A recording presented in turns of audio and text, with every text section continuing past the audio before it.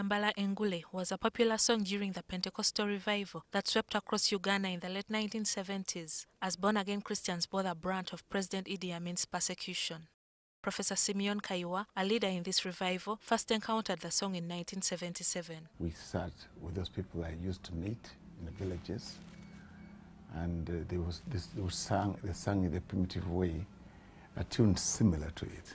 The musician Bobi Wine, who released a cover of the song a few days ago, claims that as a child of God, he has the right to pick encouragement from it. It inspired me, especially having been singing it in church. Religious songs inspire the soul, and I think it's okay for as long as um, it is on a noble cause, a cause to make uh, life better for all people. The English version of the song was originally composed as a hymn in 1721 by Isaac Watts, and he named it When the Battle is Over. Over the years, the song has been covered by many artists.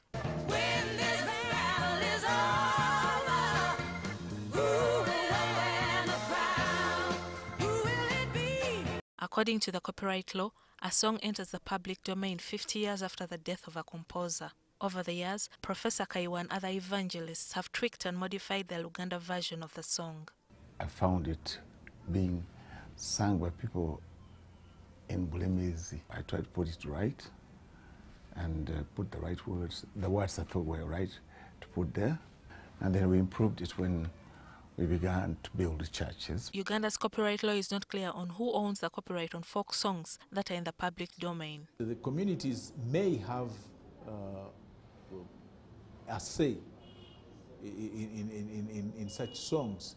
A person may, may use that song and uh, he, will, he will have copyright in his or her version. Since the ownership of Tuliyambala Engule is not clear, the onus is on the pastors who are castigating Bobi Wine for using the song to prove that it belongs to the church. The transformation of that song from English to Luganda is, uh, is what will make it a derivative work. You derive it from the original work. Now, that in itself is copyright protected. So the, the key question that should be answered is, can you prove that you are the author of this song before you can maintain any legal claim or rights to the song? It's our song that we've been singing all the time, but it was not recorded. It was, it was not copyrighted. I cannot limit anybody from using it because it does not belong to me or to anyone yet. If music is the elixir of life, then freedom songs are the vanguard of change.